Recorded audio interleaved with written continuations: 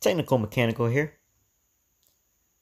Today I'll be giving you guys a quick tour of my Bitcoin or cryptocurrency mining setup.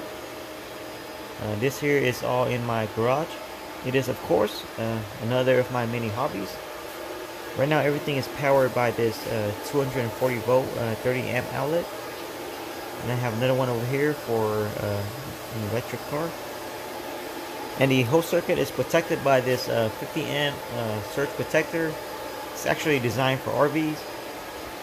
From there it goes to a PDU, a uh, power distribution unit, which is just a really expensive uh, power splitter.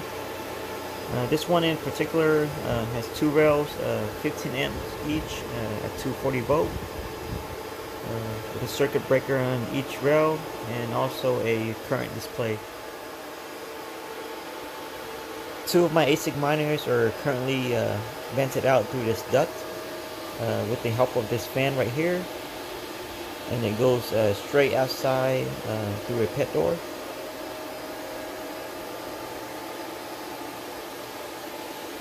Note that my garage is uh, fully insulated. Uh, that includes all the exterior walls, the ceilings, and also the garage doors. The uh, garage is cooled by a very powerful uh, LG mini split uh, heat pump capable of uh, 22,000 BTU for AC and uh, 24,000 for heat.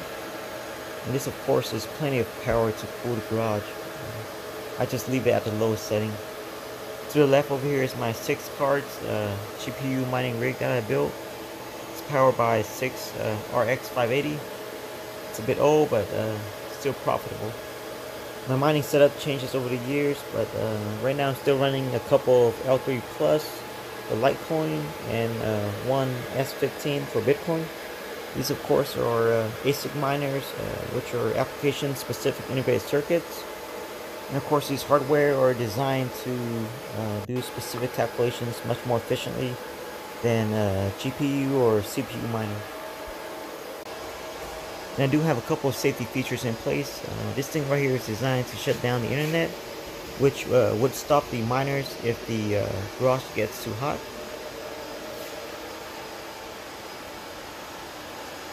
And uh, up here on your top right, there's a camera with a motion sensor. Alright, let's go to the side of the house real quick and I'll show you what the AC condenser unit looks like.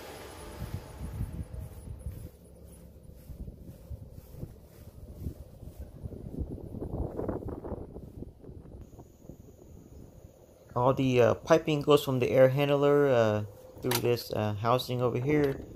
Also includes a drip line for the uh, condensation. And as you can see the uh, condenser is quite massive.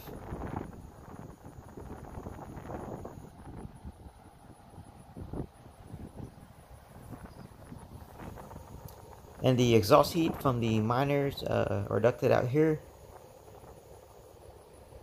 Alright guys, thanks for watching, and if you like this video, smash that like button and subscribe.